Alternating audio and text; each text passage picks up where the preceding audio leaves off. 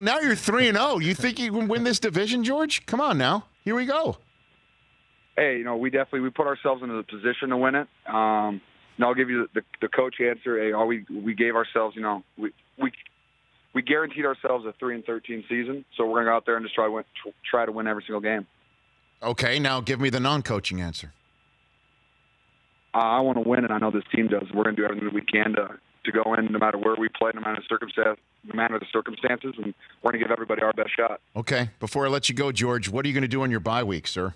What does that mean for Oh, you? I'm going back. I'm going back to Iowa for Middle Tennessee, baby. Kinnick Stadium's gonna be rocking. Okay. Yeah, that is just that that place is just um it's otherworldly. One of a kind. Well, it is. It's It and, is. and not only that, but um your your coach is one of a kind. And He's incredible. nothing give me a good Ferentz story, George. You got a good Kirk Ferentz story for me? I have a lot of good coach Ferentz stories. Give me a good one. Um, I'll tell you this. On my official visit there, after they offered me, he's like, "You're going to be number 46." I was like, "Oh, that's cool. Why am I number 46?" He goes, "I don't know. I used to have a really good reason, but I totally forgot."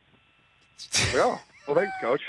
So you were number number 46 for you were number 46 46. for five years. Well, and and now that's part of your Instagram and Twitter handle. You still haven't changed that.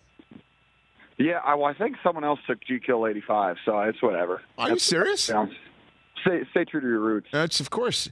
And and and in the my favorite tradition in college football is waving to the children's hospital, George. There yeah, is pretty incredible. There is nothing like that during a game. It is just Yeah. so special.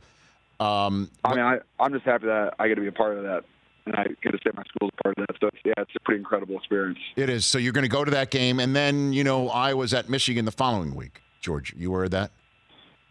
I know. I, I wish. I you know what's tough is I never played in the big house because I was I redshirted that year, so I didn't travel. So I never played at the big house or Michigan State. So I, Mm. you know, I, I wish my bio because next week I could go to Michigan and you know watch Iowa work them. But hey, you know it's whatever. Well done, George Kittle. Okay, so uh, two things. Um, you're going to hang with me in Indianapolis next year. You're going to be part of my run. That's going to happen. Oh yeah, Okay. I love that. All right, that's number one, and then number two, I'm going to have you on later in the season to check on all of these things that you just uh, you just uh, told me. Okay. Can't wait, baby. For more of The Rich Eisen Show, tune to Audience Channel 239 on DirecTV for free on BR Live or download the Rich Eisen Show app.